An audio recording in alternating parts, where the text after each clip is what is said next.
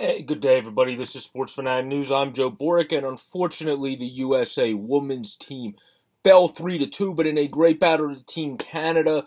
As obviously, for the reasons of this channel being unbiased, I have to first and foremost give props and congratulations to Team Canada and Marie-Philip Poulin for continuing her ridiculous streak um, throughout the entire tournament of by far being one of the most dominating um, figures in the entire tournament from the jump, Team Canada's captain. But so hats off to Canada. Congratulations to Canada and the great fans like Pirla Wisdom that does stuff for Steel Flyers as well as Payton on the radio and everybody else that's celebrating up there in Canada for reclaiming the gold from Team USA. You guys did deserve it. You brought the spunk. You brought the end. You went up 3 nothing um, bringing a lot early. Team USA then battled back. These were clearly the two best teams in the 20. Finland then wins their second straight bronze. Uh, so it wasn't all too surprising, obviously, that uh, this became the gold medal game. Where, in contrast, for the men's, like I said yesterday, the women's got bragging rights no matter what for both countries. Both countries got out in the quarterfinals, one to Sweden, one to Slovakia. So, when it came to this game, Canada really again they jumped the ante early. Uh, Desbiens also uh, she was fantastic um in net yet again. Uh, she's continued to just be immaculate um in net for Team Canada, and she made some key saves late in the second and also early in the third that could have changed the tide of the game because, of course, uh, Hilary Knight was able to score a shorthanded goal in this game for Team USA. So imagine if then uh, early in the third period, Team USA, rather than getting a goal way late in the third at the end by Amanda Kessel, Phil Kessel's sister, they would have had a different game if one of those was able to squeak in. So Desbiens um, played a absolutely immaculate game. Uh, Cavallini also, she didn't play bad in my opinion. I thought she played solid. I just thought Team USA left too many open high percentage chances to Team Canada, who, like I said, has been scoring like an Armageddon army just coming right at you this entire tournament. That's why I gave them the favorites coming in, and it ended up playing out. As much as I hated to do it, because I'm a I'm from USA, I'm a USA fan. I I'm born and raised in the Philadelphia area. You have to give credit where credit is due, and they were the favorites coming in.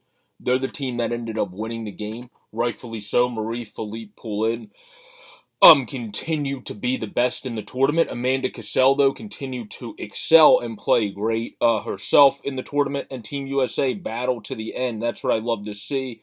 Uh, Sarah Fillier played well again. so did uh, speaking of the Sarah, Sarah Nurse.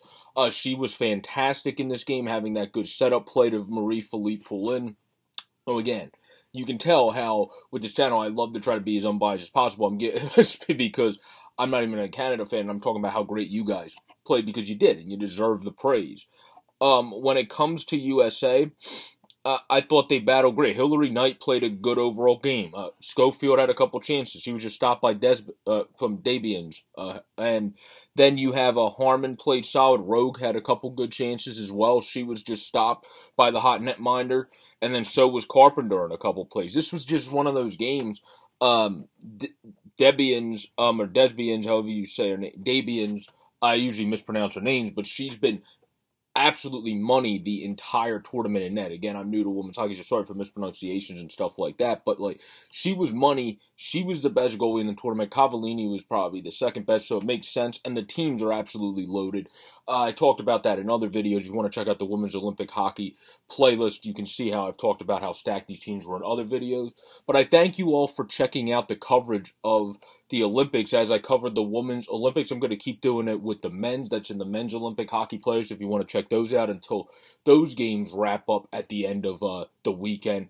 But everybody have a great day and play. This has been a reaction to Team Canada beating Team USA. Congratulations for reclaiming the gold from Team USA, Team Canada, as Marie-Philip Poulin, Debians, uh, Larocque, Fast, uh, Nurse, Jenner, Sarah Fillier, and everybody leads you guys to gold. And then for Team USA, silver is obviously a very good solace. It's tough, um, but it's nice to still get second best medal, the silver medal, and walk away with that. Um, compared to nothing, which is obviously what the men's circuit did. It was a tough to watch this loss. They battled to the end.